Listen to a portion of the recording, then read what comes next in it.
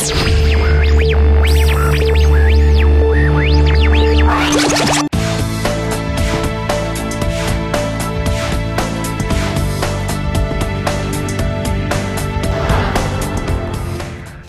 lots of promising candidates to apply for a position in your organisation is just the beginning of the recruitment process.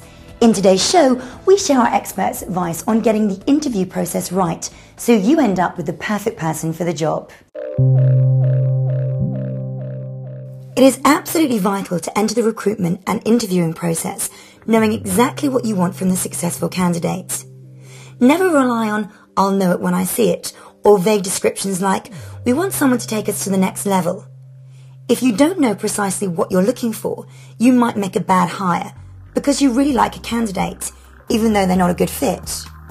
You might cast too wide a net and waste time interviewing unsuitable candidates. So, write a clear, up-to-date job description for the role. Beyond this written job description, make sure you know exactly what the person will do on a daily basis. What problems will they be expected to solve? Develop a clear picture of the ideal candidate, their skills, motivations and behavioural style. Think carefully about what qualities you can coach and which you can't. For example, if you really need someone who is charming and funny to work with clients, then prioritise that trait above experience because those are qualities you can't teach.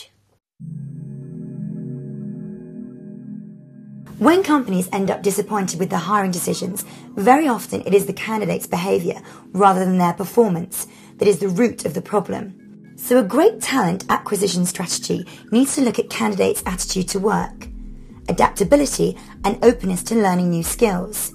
It needs to consider what a person is capable of as well as what they have already done.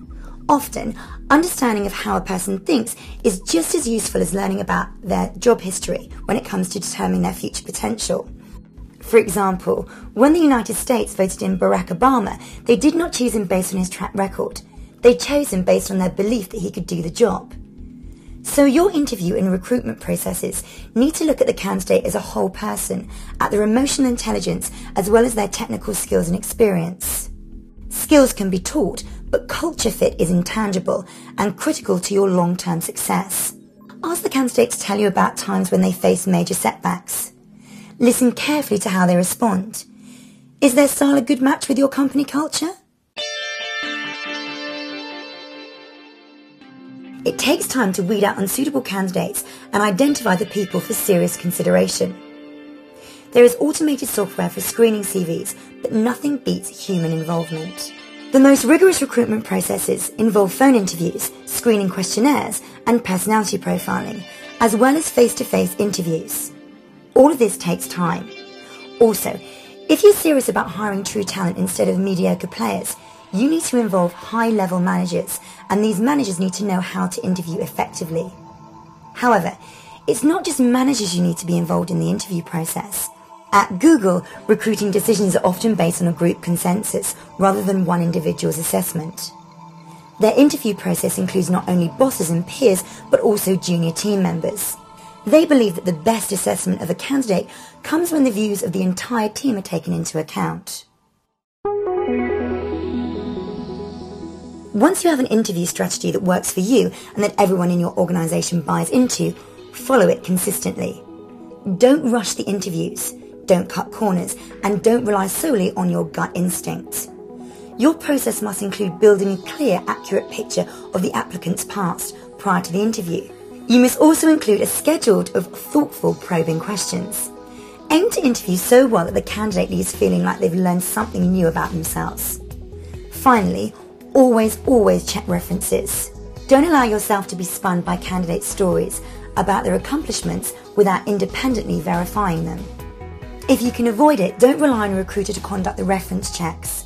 Getting the right person is too important to delegate this step. Leverage your networks to find people who have worked with a candidate in the past and get their perspective. Stay tuned for more essential tips from the business experts on Your Business Channel's Talent and Recruitment series. Now you can collaborate with world class experts and thousands of business people to solve your biggest problems in business. Simply log in to your business channel and put your question to our editorial team. You can also post your questions on YouTube, Facebook, or Twitter.